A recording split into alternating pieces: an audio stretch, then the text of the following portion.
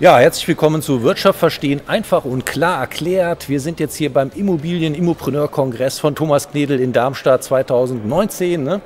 Und bei mir ist der Freaky Finance, der Vincent Willkommen, ne? Finanzblogger. Wir hatten auch schon mal ein Interview. Erstmal herzlich willkommen, hallo. Ja, moin, Grüß Steffen, dich. hallo. Ja, so.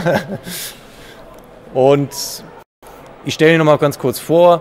Er ist sehr aktiv im Bereich Aktien, ähm, P2P-Kredite, hat auch Immobilien, hat auch einen Gastbeitrag in meinem Immobilienbuch schon geschrieben, ne, das Immobilieninvestoren-Netzwerk. Richtig, ja. Genau, da hat er auch ein Kapitel geschrieben.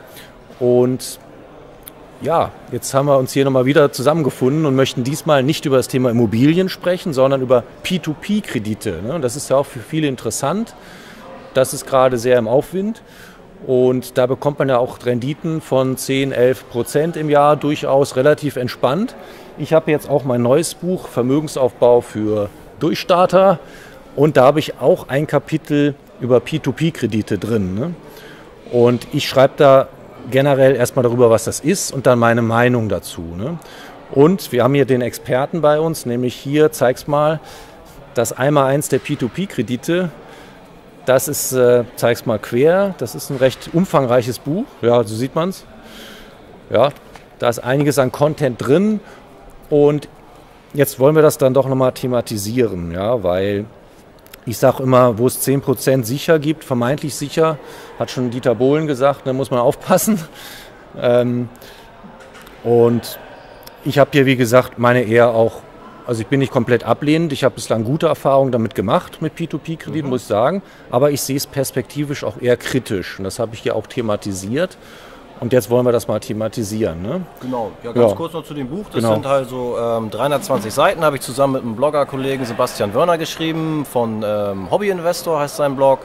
Ja, genau, da gehen wir auch das Thema von Grund auf an, ähm, haben einen klaren roten Faden vom Einstieg äh, bis hin zu ähm, Einsteiger und äh, anderen Beispielportfolios. Wir legen auch unsere ähm, Investiere. Äh, äh, Weise dar, äh, wie wir selbst aufgestellt sind in dem Bereich und so weiter.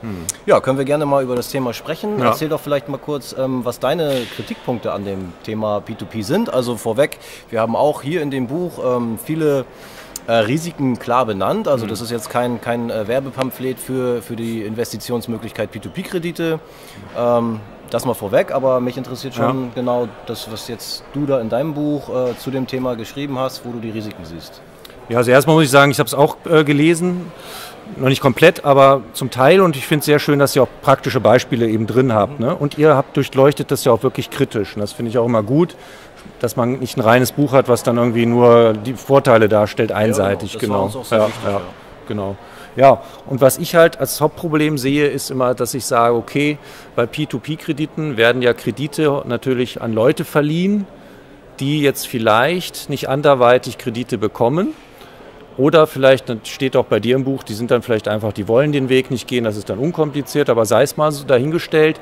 Ich sag mal, Leute, die nicht die beste Bonität haben, werden wahrscheinlich sich ihr Geld über P2P-Kredite beschaffen. Das sind ja auch Kleinstbeträge teilweise eben aus mal 100 Euro, 200 Euro und so. Und ähm, ich sehe erstmal darin ein Risiko an, an dem ganzen Konstrukt und dass ähm, es die Gefahr bestehen könnte, dass das ganze System nicht mehr funktionieren könnte, wenn doch immer nicht mehr genug Geld nachkommt von neuen Investoren, ne, die da wieder neues Geld einbringen. Also im Moment ist es natürlich wirklich gefragt, weil die Zinsen sind ja auch sehr, sehr niedrig und ich denke, die Zuflüsse, was ich auch gesehen habe, sind ja enorm. Ja, Ne, dass also immer- was man jetzt für Renditen Ja. machen kann mit dem. Ja, und dass immer Leute weiter Geld investieren in diese Plattform, also Geld auch verleihen. Ne? Ja, genau. Man invest- investiert ja im Grunde genommen nicht in die Plattform, sondern man gibt ja, einem ähm, jemanden, der einen Kredit braucht, ähm, gibt man dann Kredit über äh, gewisse Plattformen, Mhm. die da als Marktplatz agieren und da stehen teilweise Kreditanbahner hinter. Ähm, das sind quasi die Banken, aber es sind eben nicht Bankenkreditgeber und die stehen dazwischen, die finanzieren die Kredite teilweise vor und sammeln sich das Geld von uns Investoren dann im Nachgang wieder ein. Ne? Mhm. Ja, wie siehst du denn meine Hauptbedenken, dass, dass ich sage, okay, wenn nicht mehr genug frisches Geld nachkommt von Leuten, die da Geld leihen wollen, verleihen wollen, Ja. dass es dann vielleicht riskant werden könnte und wenn dann noch vielleicht die Arbeitslosigkeit, wir in eine Rezession abrutschen, ähm, dass wir dann doch noch mehr, ähm, das ist eben diese vermeintliche Rückkaufgarantie auch von vielen äh, Kredit, äh, wie nennt sich das, Anbahnern, Kreditanbahner, ja, ja. nicht mehr gewährleistet sein könnte. Genau, das eine Thema oder es sind verschiedene Punkte, die du ansprichst. Ja. Ähm, das eine mit dem Geld nachkommen in den Kreislauf, das habe ich nicht ganz verstanden, weil wenn mhm. halt, wenn keine Investoren mehr bereit sind, Geld nachzugeben, dann kriegt der, der es äh, haben will, das Geld, der kriegt halt einfach keins mehr. Das bringt, glaube ich, mhm. das System an sich nicht, nicht in Bedrängnis. Ja? Mhm. Aber Weil, es ist äh, das eine, was du noch sagtest, äh, dass viele Leute, die woanders keinen Kredit bekommen, also schlechte Bonität haben, ähm, dass die sich jetzt ähm, hier über solche Marktplätze Kredite besorgen. Das ist definitiv wahrscheinlich so. Mhm. Es ist aber auch so, weil du sagst, ähm, die Leute nehmen ja wirklich Kleinstkredite und mhm. äh, versuch mal äh, einen 100-Euro-Kredit als äh, Privatperson irgendwie, das macht ja keine Bank, macht sich die Arbeit, um äh, dir jetzt 100 äh, Euro zu leihen. Mhm. Und dann bist du ganz schnell im Bereich Dispo-Kredit, den nimmst du dann eher in Anspruch. Da hast du vielleicht ähm, 1000 Euro Limit und wie hoch ist dein Dispo-Zins? Ja. 15, 16 so, Prozent. Ne? Da bist du halt auch äh, schnell im zweistelligen Bereich ja, und das ja. ist dann das, wo, wo man es eher mit vergleichen kann. Ja, ähm, dann geht es oft so den Selbstständigen so, dass die eben über die Banken schlecht äh, Kredite bekommen, wenn sie noch nicht eine ausreichende Historie in ihrem Geschäftsmodell haben oder sowas. Mhm. Äh, die gehen dann halt eben auch über P2P und es ist teilweise wirklich unkompliziert und du kriegst eine Instant-Zusage oder Absage. Also du, du, du stellst dort äh, bei diesen Plattformen einen Antrag nach diesem Kredit, äh, Kredit und wirst angenommen oder abgelehnt innerhalb kürzester Zeit. Und äh, ja, wenn du du hast ja auch schon Immobilien finanziert, kann man jetzt vielleicht mhm. nicht vergleichen, aber was da alles heutzutage hinterhängt, wie, wie nackig man sich machen muss, um einen Kredit zu bekommen von der Bank. Äh, Im Zweifelsfall äh, steckst du ein paar Wochen Arbeit rein, bereitest die Unterlagen auf und kriegst tro trotzdem eine Absage. Mhm. Sowas wollen viele Leute umgehen und ähm, finanzieren sich ganz schnell über so eine Plattform, sind dann aber auch bereit, ähm, höhere Zinsen dafür natürlich zu bezahlen. Mhm. Ja, was ich auch meinte mit dem, das ganze System wird ja nur ja. am Laufen gehalten, indem frisches Geld nachkommt. Ne? Wenn jetzt dann doch tatsächlich ähm, die Ausfälle steigen sollten und viele ihr Geld abziehen ah, ja, oder okay. nicht neue Leute investieren. Wenn es Ausfälle gibt, ja. Genau, okay. so dann mhm. könnte ich mir ja vorstellen, dadurch, dass da nicht frisches Geld nachkommt, wird das System halt Schwierigkeiten bekommen. Also das System der, der Rückkaufgarantie sprichst du Zum Beispiel, das ist, das ja. und auch das Vertrauen äh, generell in P2P. Das ist natürlich eine Gefahr. Ja. Rückkaufgarantie schreiben wir auch in dem Buch an, ja. an vielen Stellen, dass, äh, dass wir das Wort ganz äh, schlimm finden, weil es mhm. eben keine Garantie ist, wie sich jetzt auch schon in einem Fall in der Vergangenheit gezeigt hat, wenn der mhm. Kreditanbahner äh, insolvent ist, dann kann er dir auch die, das Versprechen nicht mehr einlösen, dieser Rückkaufgarantie, dass da steht nämlich dahinter, dass du dein, als Anleger dein Kapital plus sogar äh, der Zinsen, die bis dann dahin aufgelaufen sind, äh, vom Anbahner zurück äh, erhalten sollst. Also dass du quasi keine Verluste erleiden kannst. Mhm. Aber sobald dieser Anbahner selbst gar kein Geld mehr hat und nicht mehr zahlungsfähig ist, kann er dir auch diese Garantie, die er vorher vergeben hat, angeblich gar nicht mehr einhalten. Und so ist es mit einem Kreditanbahner gelaufen über die Plattform Mintos. Eurocent ja, heißt der Anbahner. Das Verfahren ist noch nicht ganz durch. Ähm, aber wir gehen davon aus, dass dort die Anleger quasi eben auf ihren Sachen, die sie dort reingeschossen haben, äh, sitzen bleiben, dass man da nichts mehr zurückbekommt. Und das ist dann eben so ein, so ein Beispiel für einen äh, Anbahner Ausfall, Insolvenz und dann nützt auch diese vorher ausgesprochene äh, Rückkaufgarantie nichts mehr. Ja? Genau.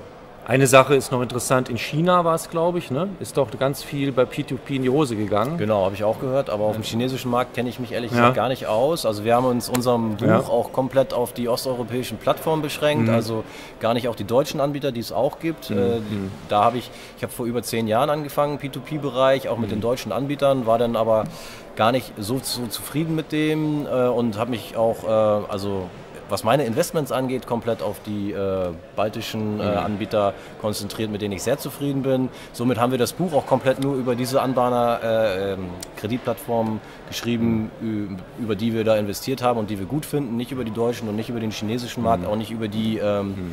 britischen Anbieter oder äh, USA, wo es ja sogar noch früher kam, aber die haben wir komplett rausgelassen, weil wir es auch gar nicht auskennen. Mhm. Äh, ich habe auch von den ähm, ja, von der Pleitewellen der ja, ja. P2P-Plattform äh, in China gehört, weiß weiß aber ehrlich gesagt gar nicht genau, was dahinter steckte. Ähm, ah, okay. Das kann aber auch, glaube ich, staatlich äh, Regulierung, die dann mhm. gegriffen mhm. hat, äh, hat, hat dann da viel kaputt gemacht. Mhm. Aber da kann ich nichts Genaues zu sagen. Ja, okay. Also es gab ja auch schon Videos, wo Leute dann tatsächlich mal hingefahren sind, zu Mintos zum mhm. Beispiel, um mal zu gucken, so nach dem Motto, gibt es das auch und ja. ist das da alles seriös? Ne? Ähm, Habe ich auch schon einiges gesehen. Ne? Genau, wir waren auch da, also Sebastian auch, ne? und ich. Ja. Ähm, wir waren in, in, Riga jetzt im Juni, da gab es so eine große äh, P2P-Konferenz mhm. und ja, die gibt es alle wirklich. Wir haben auch eine, ja. wir haben uns die Büroräume von Groupier zum Beispiel angeschaut und von Mintos, von dem größten Anbieter dort vor Ort. Haben eine Büroführung gekriegt, alles ganz äh, nette äh, Mitarbeiter dort, die uns vieles erklärt haben, viele Fragen beantwortet haben. Und mhm. ja, also die Plattform gibt es wirklich, sind keine Briefkastenfirmen. Ja, und ähm, ja, äh, war, war ein tolles Event. Also es ging äh, ein ganzes langes Wochenende dort in Riga, wo viele Investoren, Plattformen mhm. und so weiter zusammengekommen sind. Ja.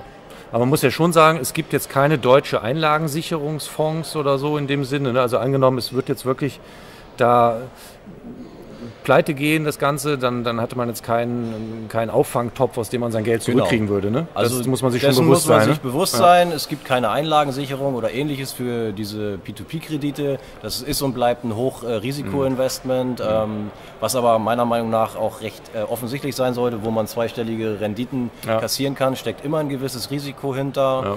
Ähm, das Ganze läuft jetzt seit Jahren total toll. Davon ja. sollte man sich nicht zu sehr blenden lassen. Man soll das weiterhin kritisch äh, für sich hinterfragen, so wie du es ja auch korrekterweise ja, machst. Ja, nicht zu gierig werden, nicht zu viel Kapital reinschießen, äh, mhm. nicht zu einseitig investieren, nur in P2P-Kredite, schreiben mhm. wir auch mehrfach. Mhm. Um und bei 10, maximal 15 Prozent des ja, sag ich mal, seiner Investments sollte man in diese ja, Anlage stecken und das ist schon viel. Also wer da weniger macht, ist damit äh, gut beraten, aber es gibt auch Leute, die äh, sind da sehr exzessiv unterwegs, was das angeht und mhm. noch läuft das, aber das kann auch mal unter Umständen dann irgendwann kippen, das Ganze und böse nach hinten losgehen. Von daher... Ja sagen wir halt eben so diese 10% vom, vom, von, von seinen gesamten Investments mhm. maximal in P2P. Und das, das finde ich genau interessant, dass du das sagst, ne? weil das ist im Prinzip auch mein Resümee mehr oder weniger in dem Buch. Ich verteufel ja. das nicht, ich weise nur auf die Risiken hin. Ähm, als interessante Beimischung finde ich es auch genau. gut, man soll es beobachten.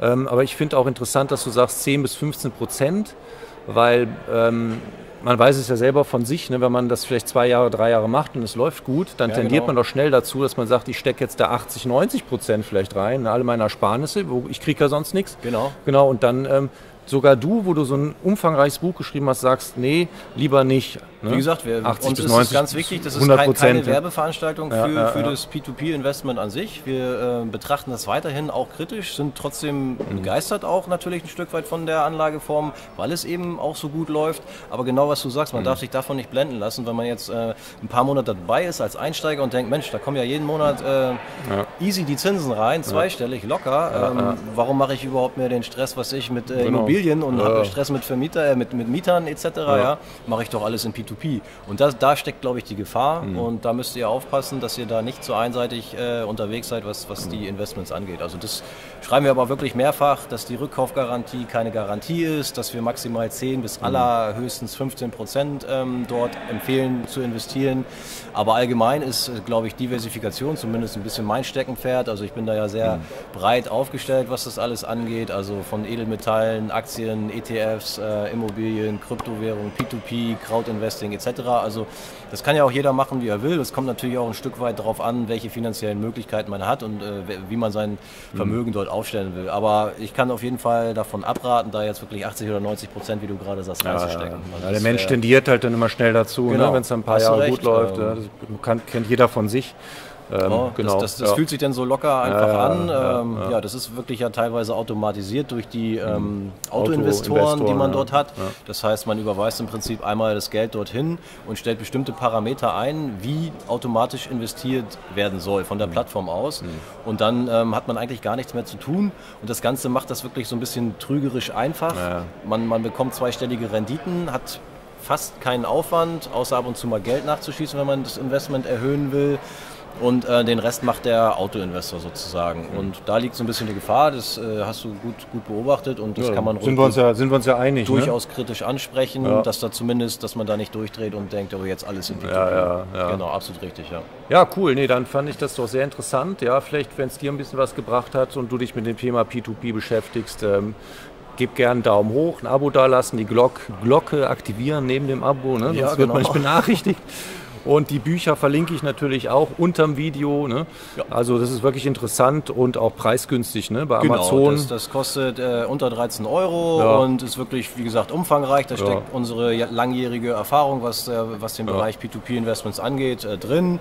Ja, ansonsten vielleicht, äh, um erstmal einen ersten Eindruck äh, zu bekommen, unsere Blogs anschauen, also www.freakyfinance.net und hobbyinvestor.de. Vernetzt sich ähm, alles hier drunter, ne? Das sind die Autoren dieses Buchs ja. und da könnt ihr erstmal gucken, wie äh, euch der Schrei genau. Schreibstil oder der Content gefällt und ansonsten gerne tiefer einsteigen mit dem Kauf eines Buches. Gibt es ja. auch als E-Book. Ja. Ja, ich kann auch den Blog vom Freaky Finance, ne, Vincent Willkommen, empfehlen. Ähm, der ist wirklich sehr bodenständig. Das finde ich sehr gut an ihm. Ne? Ist kein abgehobener, ganz äh, authentischer, ehrlicher, bodenständiger Typ. Ja, und das äh, schätze ich immer sehr und das ist auch in deinem Blog zu spüren. Das freut mich, ja. Also ich, ich schreibe genau. tatsächlich auch über Sachen, die, die schief, schief gehen ja, und so weiter. Das finde ich auch also gut, das, das verstecke ich nicht oder so. Ja. Genau, also authentisch ja. und, und ehrlich wird da berichtet ja, über die eigenen Erfahrungen. Ja. Genau. Ich verlinke auch nochmal unser erstes Video, da hast du über einen großen Verlust berichtet. Genau, ne? zum Beispiel. Ja. ja. das war auch sehr Stell interessant. Ich auch äh, in die Öffentlichkeit und berichte von 200.000 Euro Verlust. 200.000 Euro Verlust, das verlinke ich auch nochmal hier drunter. Da könnt ihr auch nochmal reingucken und ihn euch ein bisschen näher zu Gemüte führen. Das war ja sehr interessant, ja. Lehrreich. Also, dann besten Dank. Ne? Danke dir, Steffen. Ja, und bis zum nächsten Mal. Ciao. Ciao.